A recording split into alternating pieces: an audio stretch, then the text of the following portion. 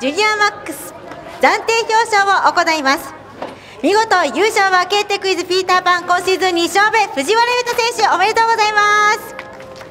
第2位はゼッケン27番です。モモクスカートレーシング大宮健人選手おめでとうございます。第3位ゼッケン61番アッシュ服部慎選手おめでとうございます。表彰台獲得しました3選手にウィンダースキャップが贈られます。昨日のレースに続いて優勝を取りました藤原優太選手にシャンパンが贈られます。大宮健太選手そして服部慎選手にシャンパンが贈られます。いち早くキャップを取りました藤原優太。2人も揃った。それではいきますよ。シャンパンファイトお願いします。逆襲にかかっています。大宮健人と服部慎。そして背中には2人から注ぎ込まれています。藤原優太なすすべありません。はいありがとうございました。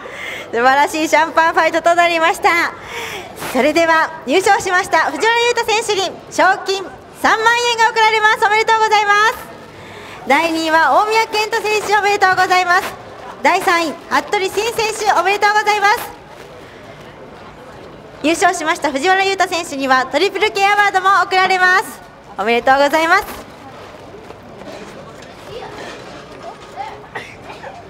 それでは青賞のトロフィーを贈りたいと思いますので選手の皆さんは賞金ボードを足元に置いてください。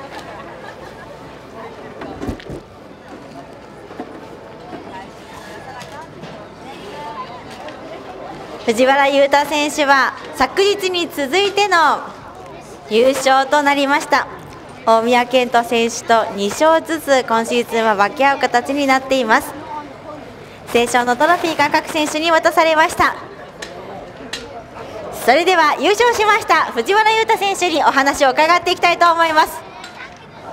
おめでとうございます。なんだか固まっていますけれども今のレース振り返っていかがだったでしょうか？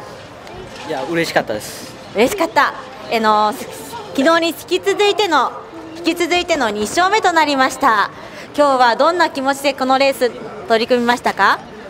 もうタイトラ予選って、えー、ポール取ってスタートできたので決勝も勝ってポールトゥーウィンでいけたらいいのになと思って頑張りました。それでも思った通りにはぶっちぎるというところまではいかなかったと思います。大宮選手であったり服部選手も台頭してきました。その中で勝ちを取ったその秘訣は何だったと思いますか？やはり毎日の練習だと思います。昨日も同じようなことを言ってくれました。じゃあ再びチームの皆さんとそしてご家族に一言お願いします。これからもよろしくお願いします。はい本当に素晴らしい優勝となりました。おめでとうございました。藤原優太選手でした。おめでとうございます。それでは改めて写真撮影となりますので選手の皆さんは表彰台の中央に集まってください